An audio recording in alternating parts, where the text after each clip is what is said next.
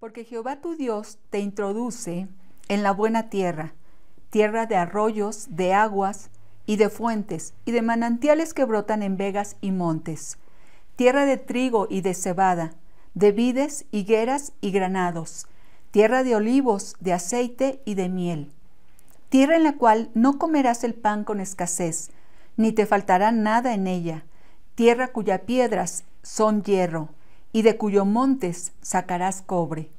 Y comerás y te saciarás, y bendecirás a Jehová tu Dios por la buena tierra que te habrá dado. ¿Qué tal familia? Esta es una cápsula de campeones de los ministerios Palabra de Honor y de acuerdo al programa de lectura de la Biblia en un año, yo extraje esta porción de la palabra de Dios en Deuteronomio 8, versículos 7 al 10, donde hay una promesa maravillosa para ti, donde Él te dice que Él te ha introducido a una buena tierra, a esta tierra donde fluye, ¿verdad? Estos arroyos de agua, de fuentes de manantiales.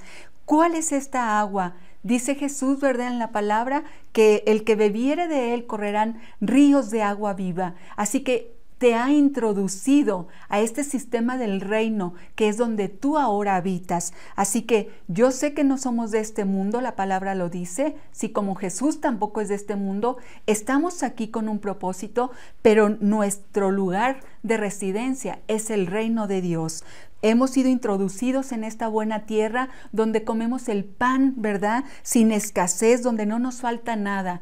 Y tal vez tú puedas decir, ah, sí, porque tú no conoces, ¿verdad?, la aflicción o la necesidad por la que yo estoy atravesando. Bueno, pues yo te digo, aquí hay una promesa que es para ti, ¿sí? Donde tú la puedes tomar, arrebatar y declararla en tu vida, porque Él te ha prometido que Él te ha introducido en esta buena tierra y pertenecemos a estos lugares celestiales donde no nos falta nada porque Él es nuestro sustento, Él es el que nos sostiene, el que está con nosotros, el que pelea por nosotros. Dice que tú comerás y te saciarás y entonces vas a bendecir a Jehová.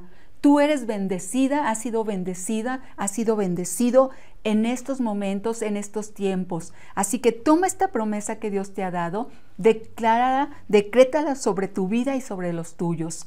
Amado Padre Celestial, yo bendigo la vida de las personas que nos están escuchando, Señor. Yo sé que estas promesas son para mí y yo debo de decir sí y amén. Yo las creo, yo las tomo. Tú me has introducido a esta buena tierra. Yo tengo el sistema del reino que es Jesús en mí y entonces he sido bendecida, yo soy próspera, yo soy saciada en todas las cosas que yo necesito.